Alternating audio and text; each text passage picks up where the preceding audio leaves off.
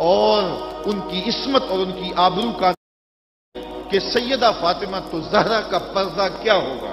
तो ये तस्वर करने से ही तबीयत में हया पैदा होना शुरू हो जाएगा और सैयदा का पर्दा और उनकी इसमत और उनकी आबरू का अंदाज समझ में आ जाएगा।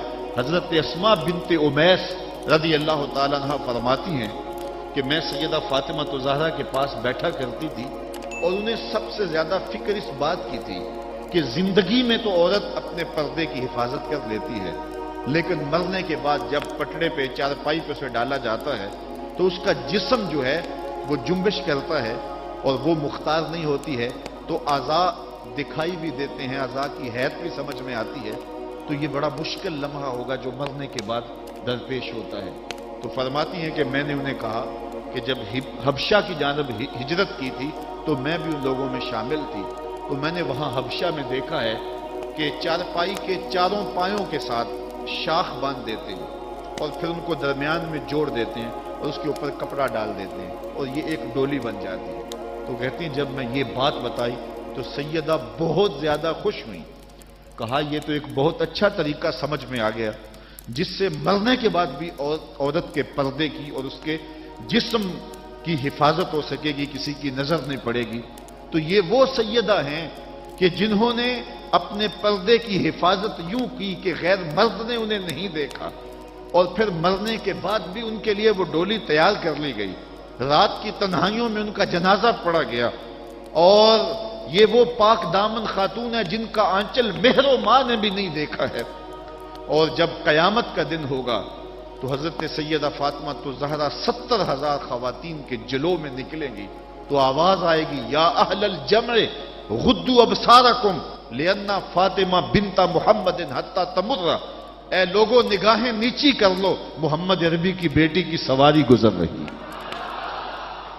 तो दुनिया पर भी उनके पर्दे की हिफाजत, बादल विसाल भी, और फिर कयामत के दिन भी। मुझे बताए औरत, क्या वो मगरब की आवारा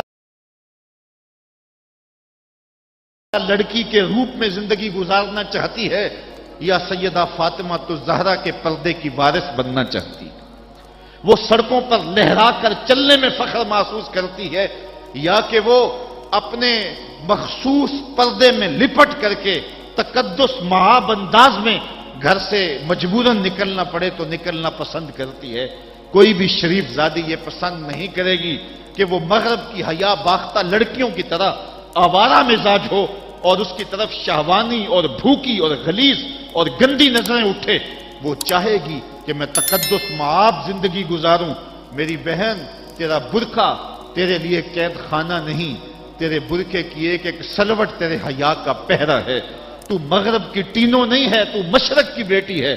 तू फातिमा है, तू आयशा है, तू हफ्सा है। तेरा पर्दा इस कायनात के हुसन की अलामत है। तू सिमट जाएगी तो उम्मत फैल जाएगी तो घर को संभाल लेगी तो उम्मत बहरो बर पे जारी हो जारी हो जाएगी। तो औरत को घर में सिमट करके अपनी अंदरून खाना, जुम्मेदारियों को संभाल करके अपनी, अपने, अपनी इसमत और अपनी आबरू की हिफाजत करनी चाहिए थी। इकबाल ने बड़ी खूबसूरती से इस पर बहस की है कि औरत के लिए पर्दा ज़रूरी है या नहीं, और फिर कहा, औरत को यह खुद अपने आप से पूछना चाहिए। कि वो किस रूप में अच्छी लगती है। जरा देखिए इकबाल का लहजा।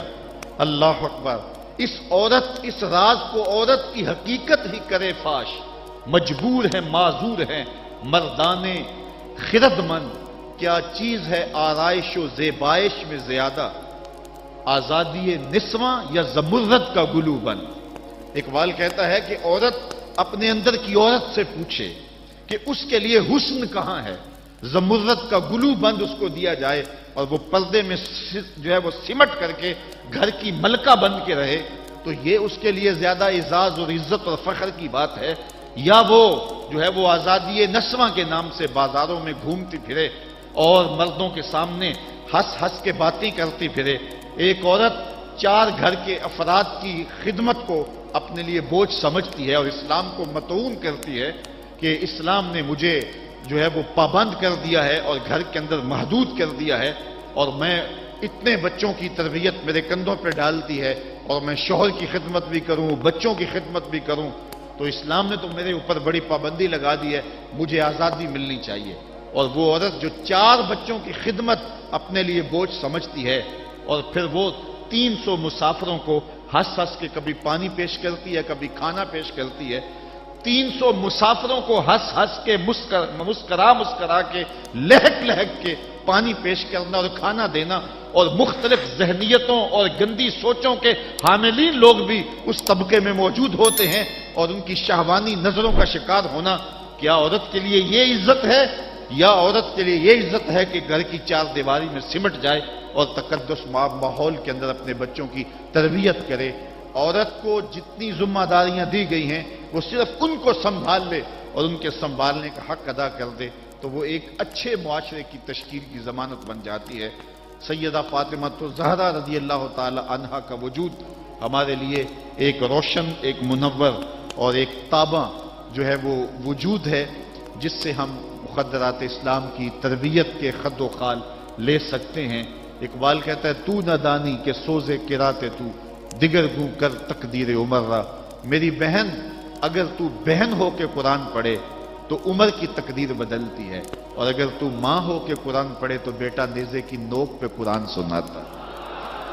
करबला के तपते हुए रेगजार में प्यासा होने के बावजूद, हज़रत इमाम हुसैन जो बातल के आगे डटे हुए हैं और झुक नहीं रहे हैं, और इकहत्तर लाशें कंधों पे उठा के खेमों तक पहुँचा चुके हैं, फिर भी इस तकामत का कोहे गरा बने हुए हैं ये हुसैन इबन अली का कमाल तो दिखाई देता ही देता है, लेकिन जरा गौर की आँख से देखो, पीछे फातिमा के दूध का असर दिखाई देता है। तो अगर माए पर्दे में सिमट जाएँ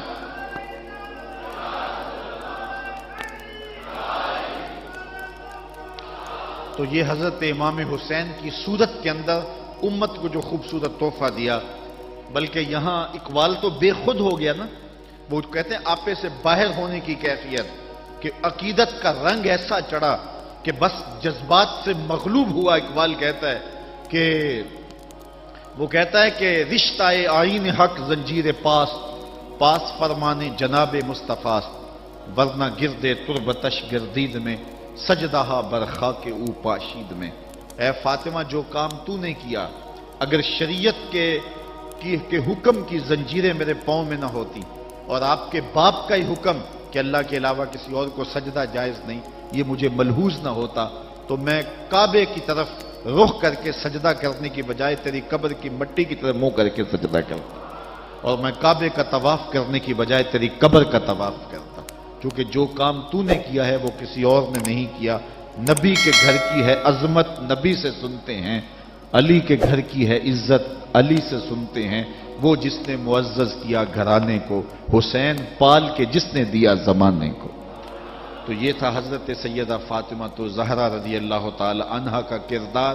आज की औरत सैदा के किरदार को अपने लिए नमूना हयात बना के अपनी ज़िंदगी की राहें मुतन कर दे।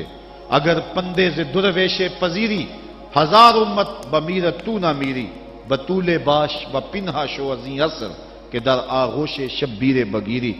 अगर फकीर की एक बात तू मान ले, हज़ार उम्मत मर जाएगी। इकबाल कहता, उम्मत मुस्लिमा तुझे जवाल नहीं आ सकता। और वो क्या है?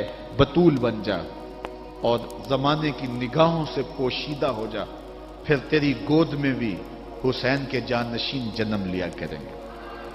तो जब औरतों का किरदार बच्चों की तरबियत तक महदूद होता है और वो इस किरदार को बहुसनों खूबी निभाती हैं तो फिर एक अच्छा मुआशरा तश्कील तश्कील पाता है।